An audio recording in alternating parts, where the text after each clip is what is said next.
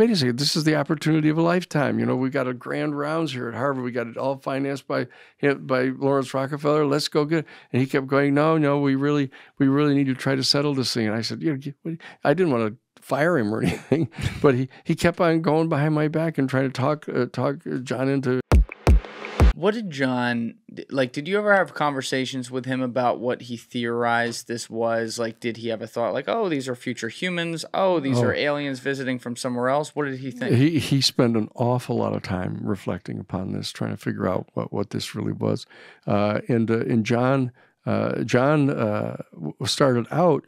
Uh, assuming that they were like extraterrestrial, that they were like from some other planet you know, somewhere. And so he kept on probing this thing and he kept doing more and more research about it and interviewing more and more people. And then he started interviewing a lot of uh, Aboriginal people, Aboriginal. Uh, ab- Aboriginal people down in South America and stuff that were in the jungles and stuff that thought they had encountered some of these beings. He, he interviewed Native American people, and he started getting this sense that there was this uh, this uh, uh, dim- this uh, kind of shamanic dimension mm. to this whole thing that that these beings it may not be as simple as they just come from another planet somewhere on these craft but that they that they that they they've got some kind of a shamanic uh, dimension to them uh, and uh, and then he started deciding look at it's absolutely essential that that I not try to impose upon them any conclusion about exactly what's going on here, or else I'm never going to really find That's out right. what, what's going on.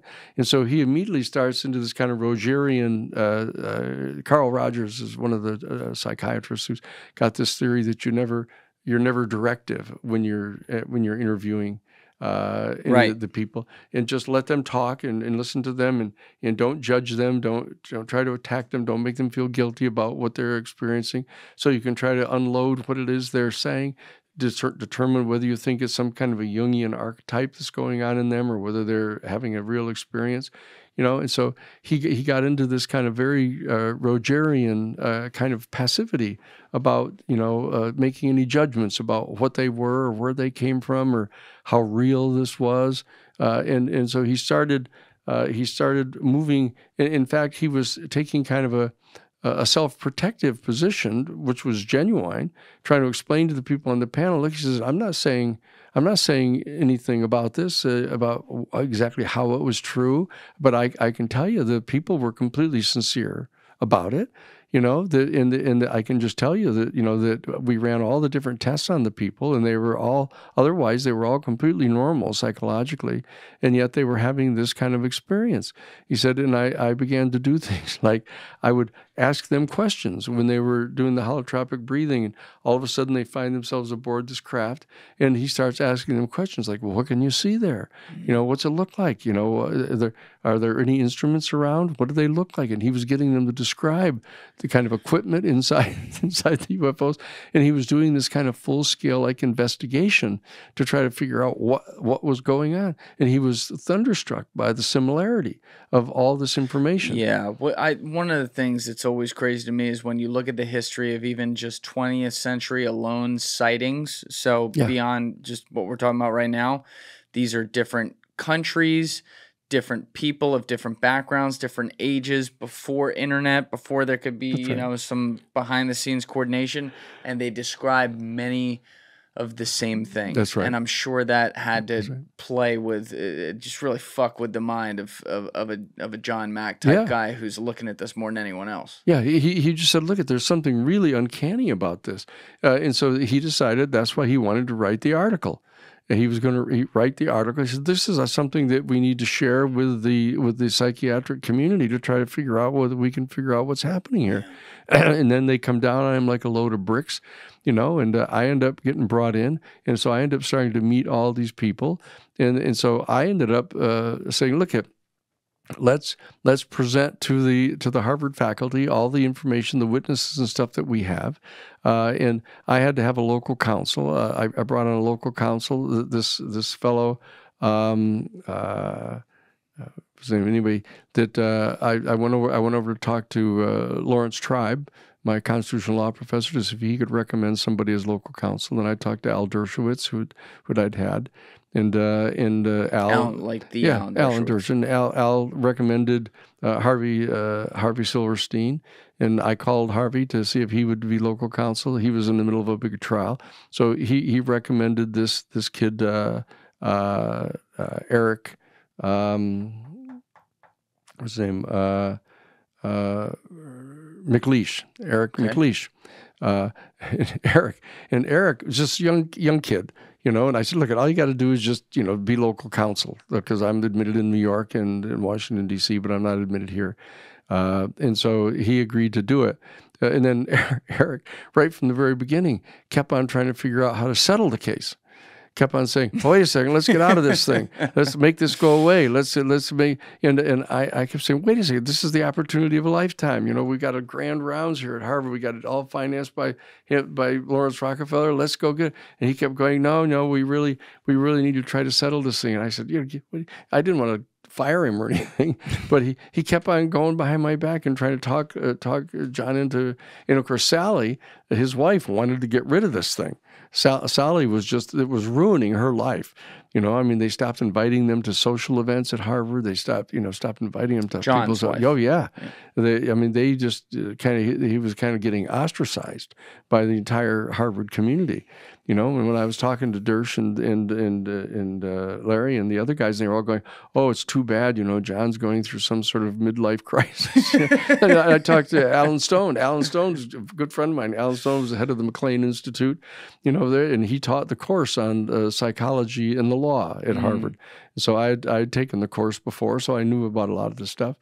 Uh, and uh, you know they were all saying they were saying, "Oh, poor John, you know he's going through some midlife crisis," and uh, you know, and uh, and they, they were totally unsympathetic, you know, and the, the whole faculty was completely unsympathetic to him. But this is something he continued it to the last day of his life. Ab- absolutely stuck, absolutely stuck with it, you know, and wrote a second book called Passport to the Cosmos, where he actually talks about how how uh, inchoate this whole thing is. It's not really clear what's going on, how much of it is psychological, how much of it is archetypal stuff. And of course, we ended up, you know, talking to people like Jacques Vallée, you know, and uh, and and read, read the stuff by Carl Jung. I mean, Carl Jung actually had this entire theory that uh, that the UFOs are in fact a uh, a photoplasmic projection into actual material manifestation of a deep unconscious fear that our whole species has about our, our direction in the future of going toward Whoa. more and more, uh, uh, you know, losing our compassion, losing our emotions, becoming more and more technical, and you know, becoming more and more atrophied because of our lack of exercise. You know, the Jung Jung goes into this big long deal uh, I mean, an actual photoplasmic projection into actual material manifestation of a deep, uh, abiding fear of our of our future. You know, and so we had to entertain all of these things. You know, to put them up in front of us and try to evaluate what, what the different theories were. You know, and, and Ja- and David Jacobs was just beside himself about how horrible it was these abductions that were going on, that they were engaged in this uh, this clear uh, uh, breeding program. You know, of taking the egg cells out of the women that were abducted and sperm cells from the men, and that they were combining their own DNA with these and generating children. I mean, all true. It's all true. The, How the- do you know that's true? Because I've talked to a dozen people uh, in the details about how the, what Who- the things they went like, through. Like, did oh, okay? So people who actually claim that that happened. Oh yeah, Did they have children that they? That they they That had they thought they were had- inseminated they- by aliens? They, they had, well, for for example, Karen, this one woman, she gets abducted, and uh, she's uh, she doesn't have any recollection of what happened to her, but she ends up. You know, losing this time, she ends up uh, going and and and uh, end up talking to John, and she goes through this regression and gets back to realizing that she's been abducted, uh, and that they did this operation on her, and they removed some of the li- the live eggs from her, uh, and that uh, they uh, then uh, all of a sudden, she, when she woke back up the, the next day, she was pregnant, and she hadn't been with anybody for like two years, uh, you know, and so she was completely puzzled by this. So she goes to the obstetrician, and they verify that she's pregnant. Uh, she carries the, the, the baby all the way to the thir- end of the first trimester for three full months. Uh, she's going to the doctors and, and taking care of herself. Then all of a sudden, she gets abducted again, uh, and then she's not pregnant. How did she get abducted again? She just she was in her she was in her living room and all of a sudden she said the hair the hair started standing up on her arms and the back of her neck and she started getting this really kind of electric feeling uh, and all of a sudden here are these three little guys standing in the middle of the room uh, and ended up picking her up and taking her with them you know and she went through the details and uh, they brought her on board and uh, she didn't remember the details but she had some sort of an operation. They removed the the the three month old zygote you know, and she, yeah, it was a, it was a, a, a, a, child that was starting to be to be grown, and that they, and then she she was furious about this, of course, uh, and she.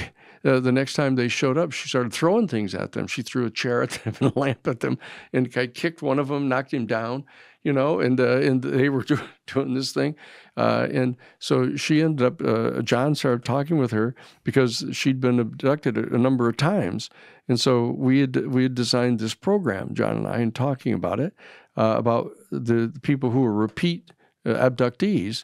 We said, wait a second, what we can do is we can help train these people uh, to be kind of really calm down. You know, do the holotropic breathing when you think when, when, you think this thing is starting to happen. Just calm down, take a lot of deep breaths, and wait. We, and so we're going to set up like this diplomatic corps. When you see an alien, yeah, yeah. just count just, to five. Count, yeah, take deep breaths. you know, and, and, so it was true. So we had this whole thing figured out, and Karen was oh a, was, a, was a great prospect.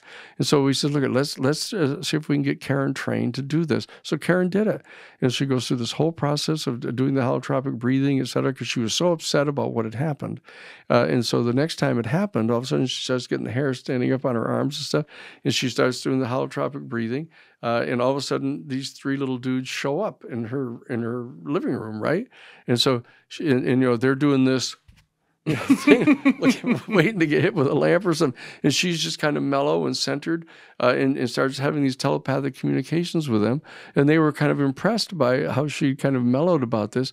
And they actually brought her with them, uh, brought her up, brought her up onto the craft and brought her, uh, had her take off all of her clothes, get in this pool, this kind of gelatin uh, pool that they had, is this aqua colored stuff, and she had to get down underneath it and breathe it in and fill her lungs in with it and stay under the thing. And they took her with them, uh, and they brought her to where their planet was. She said, to their planet. Yeah, yeah. Well, as far as she could tell, all she knows is she was under that, and it was like some period of time she stayed under there. And then when they they got there and they took her up out of the pool, and she tossed up, threw up all this stuff, and then they they brought her in through this little, like almost like a thing when you're getting off like an airplane like yeah, thing, like and they they brought her into the kind this room, and there was her little girl, and she was like like three years old. Uh, her little time. girl. Her little. She knew instantaneously that this was her child, uh, and it was a that they had removed. That, that's right. That's right. And they brought the, the child to term, and the little child was like three years old. She and had, the child looked like a human. She she was a kind of really kind of big, big, big dark eyes, uh, very thin, uh, stringy kind of hair you know, big, kind of a large head, uh, but she was a combination between the human oh being God. and the thing. And the and she and she, but she recognized right away that it was her daughter, uh, and she hugged her and, and carried her around and, and cooed her and talked with her for a, the whole day, uh, and then they brought her back you know, but she actually got to see her daughter. Well, I asked you what John Mack thought these were, but you've talked with all these people too, and you've yes. been doing this for so many years. What do you think this is? Do you think? Do you think these are from another planet? Yeah, do you think it's I, future I, I humans? Think, I, no, I think this is real simple. You know, uh, th- this is this is like you know Occam's razor. Know, we, we know that there's that you know that there's now now we know that there's not just 100 billion stars in our in our system.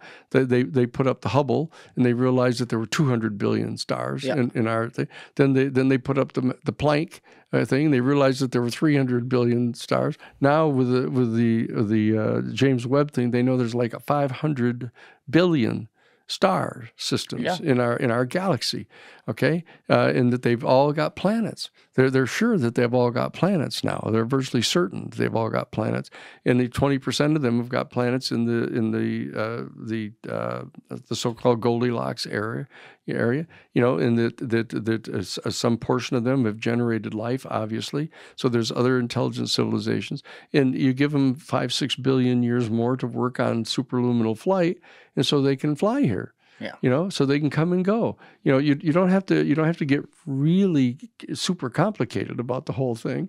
You know, this is sort of like a bus transport operation going on here. You know, and they're coming and going, uh, and they've set up bases here on our planet. Uh, and the, our planet, our planet uh, is uh, one of the comparatively few planets that actually gestates life. You know, and it's a, it's a valuable resource. Uh, life life is a, a valuable resource. Mm. they that they take life from our, our planet and they plant it in other in other star systems and stuff you know that this is going on. I mean it sounds it sounds remarkable but of course it does. but but oh, but, crazy, but, but, but, the, but the bottom line is it's a pretty simple you know occam's razor explanation for what it is that's going on. Now there's a lot of other things that are conflated with it how so? The, the, you know, for example, the, you know, Marian apparitions and and uh, people believing that they see angels and uh, people see, they see Bigfoot. You know, there's all kinds of other things going on that are that are strange. That are anomalous situations that are going on.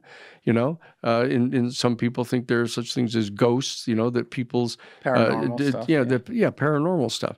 And and what they do is they conflate this with what is basically a, a, comparatively prosaic event that's really uh-huh. going on here, you know. And so that we're uh, we're focusing on this one. You know, this this is an extraordinary event that's taking place. It's a trans-historic event. Uh, it's our it's our journey into the stars. It's our becoming part of a galactic civilization.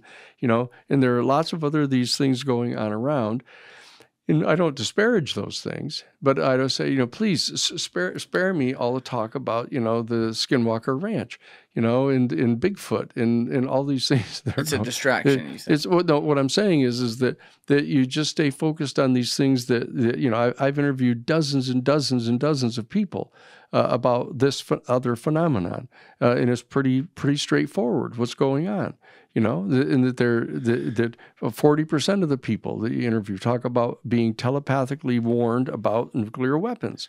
That this is this is going to destroy the life generating right. capacity of your planet.